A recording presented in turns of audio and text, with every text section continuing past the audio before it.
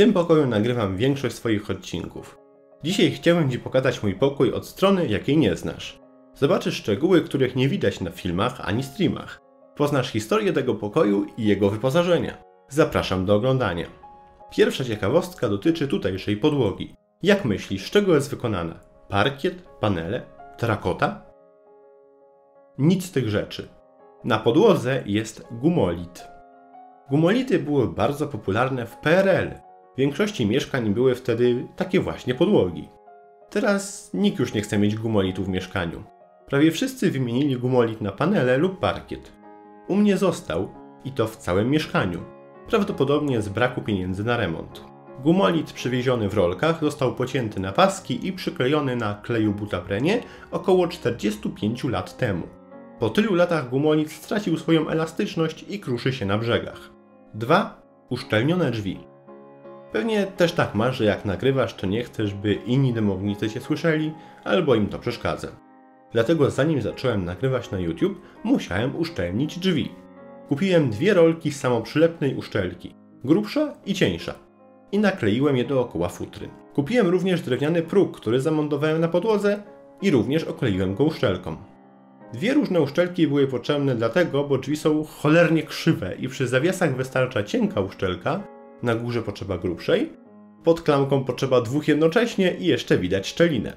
Kiedyś miałem zamiar okleić całe drzwi pianką izolującą dźwięk, ale uszczelki okazały się wystarczające. Tobie też polecam takie uszczelki, jeśli nagrywasz lub streamujesz. Dźwięk jest wyraźnie cichszy. Numer 3. Kształt drzwi. Typowe drzwi mają kształt prostokąta. Drzwi do domu Hobbita są okrągłe. Drzwi do mojego pokoju mają kształt trapezu. Górna krawędź jest 2 cm dłuższa od dolnej. Tutaj jest rysunek poglądowy. Żebyś sobie lepiej wyobraził ten kształt. Dolna krawędź 78 cm, góra 80 Na co dzień tego nie widać, bo to dość małe odchylenie, ale była jedna sytuacja, w której takie odchylenie było widoczne. Jak kupiłem drewniany próg, to trzeba go było przyciąć na odpowiednią długość. Przymierzyłem go przy samej podłodze i zaznaczyłem ołówkiem odległość. Po przecięciu przymierzyłem go w połowie wysokości drzwi, żeby się nie schylać i zauważyłem, że próg jest za krótki to wyraźnie. Jak to tak? Przecież dobrze zaznaczyłem.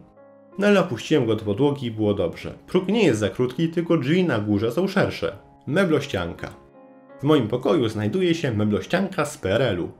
Zajmuje ona całą szerokość ściany, a składa się z trzech segmentów. Wszystkie dolne szafki mają drzwi na klucz, ale zamki nie działają od wielu lat. Po co ktoś zamontował zamki do szafek? Bo meblościanka stała kiedyś w biurze. Gdy firma zbliżała się do bankructwa, wystawiła na sprzedaż stojące w biurach meble, by pokryć długi. Ta meblościanka została wtedy kupiona za 400 zł i była w kolorze jasnego drewna. Została przemalowana na ciemny brąz około roku 1995, bo takie ciemne meble były wtedy modne. Numer 5. Jeszcze starsza meblościanka. Wcześniej dokładnie w tym miejscu stała inna meblościanka, sporo większa od tej. Była połączona w jedną całość, a nie trzy segmenty jak ta, więc nie dało się jej przesuwać. Gdy montowano gumolit, pominięto podłogę pod meblościanką. Stąd fragment podłogi jest pokryty zielonym gumolitem, który może być jakieś 10 lat starszy od brązowego. Zanim wprowadziłem się do tego pokoju, meblościanka została pocięta, a desek użyto do wykonania budek dla papug. I to właśnie o papugach będzie kolejna ciekawostka.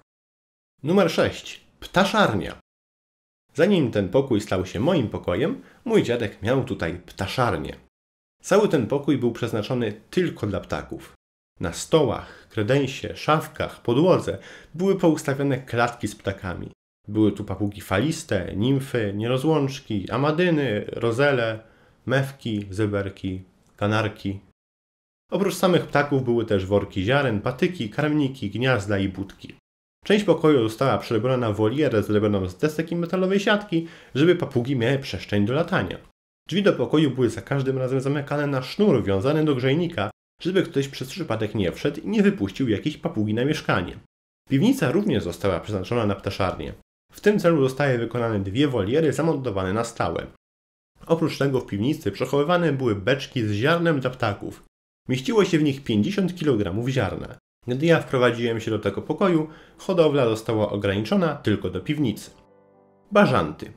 Są to duże ptaki, znacznie większe od wszystkich, które były tu w ptaszarni. W tym pokoju jest balkon. Zanim jeszcze była tu ptaszarnia, balkon został owinięty siatką, by przystosować go do przechowywania. Zgadnijcie czego? Dwóch bażantów. Wrzaski bażantów było słychać 50 metrów od domu i szybko zwróciły uwagę wszystkich sąsiadów. Niektórzy myśleli, że są tu szympansy, bo nie widzieli z dołu co jest na balkonie, a nie słyszeli wcześniej dźwięku bażantów. Pewnego dnia ktoś zapomniał zamknąć drzwi balkonowych i bażanty wleciały do pokoju. Pokój wyglądał tak, jakby przeszło tornado. Bażanty były na balkonie około miesiąca, po czym zostały sprzedane z zyskiem. Osiem gołębie na balkonie. Ptaki nie zniknęły z tego pokoju całkowicie, kiedy ja się tu wprowadziłem. W czasach, gdy chodziłem do podstawówki, na balkonie było siedlisko dzikich gołębi. Na początku lubiłem te gołębie, nawet sypałem na balkon pszenicę. Co roku na wiosnę zakładały gniazdo. Obserwowałem wtedy, jak co kilka minut przylatuje gołąb z patykiem w dziobie, zostawia na balkonie i leci po następny. Niestety po kilku latach balkon strasznie śmierdział i przez to nie dało się otworzyć okna. Oprócz balkonu gołębie posrały ściany budynku po dwóch stronach balkonu. Tutaj rysunek. Ściany były osrane aż do samej ziemi, a na chodniku pod blokiem były sterty ptasich kup. Żeby gołębie nie mogły wejść na balkon, dół balkonu został ogrodzony deskami. Nic to nie dało, bo zaczęły wlatywać górą. Po miesiącu balkon został osłonięty drucianą siatką, a góra sznurkami. Na początku gołębie nie wiedziały co robić, ale zaczęły wlatywać przy samym oknie i za każdym razem tukły w okno. Żeby zasłonić im tą drogę, na sznurkach została położona stara kurtka. W ciągu kilku dni gołębie strąciły kurtkę na podłogę balkonu, a po tygodniu były na niej dwa jajka. Gołębie zrobiły z niej gniazdo, dzięki czemu nie musiały zbierać patyków. Ostateczną przeszkodą dla gołębi miała być druciana siatka szczelnie pokrywająca górę balkonu. Przez pierwsze kilka dni gołębie chodziły po tej siatce i nie wiedziały, jak wejść do środka. Żeby wygonić gołębia chodzącego po siatce, trzeba było otworzyć okno i zepchnąć go kijem z balkonu. Było aż do tego stopnia oswojone. Po tygodniu siatka odchyliła się od drzwi balkonowych na tyle, że gołąb mógł przecisnąć się i zlecieć na podłogę balkonu.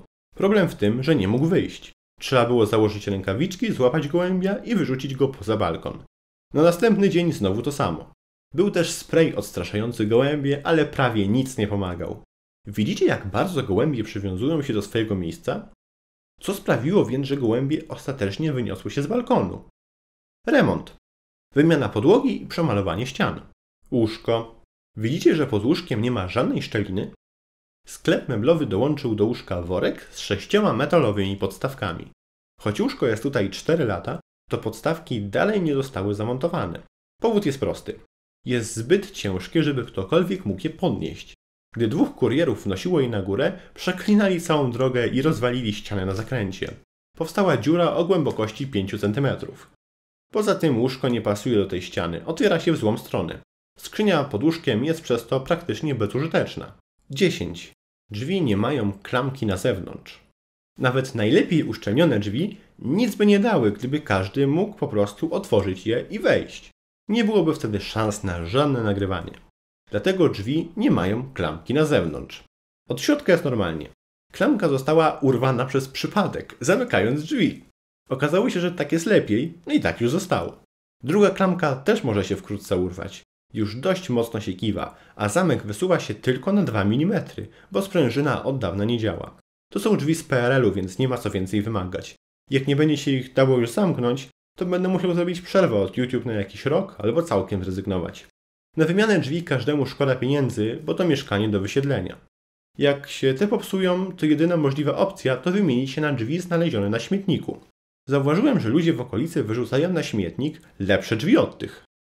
Tylko może być problem ze znalezieniem drzwi w kształcie trapezu, a na śmietniku nie znajdę futryn, tylko same drzwi. Jeszcze nigdy nie widziałem futryn do drzwi na śmietniku. Jak byłem mały, to mojemu dziadkowi udało się znaleźć na śmietniku dwa okna razem z futrynami.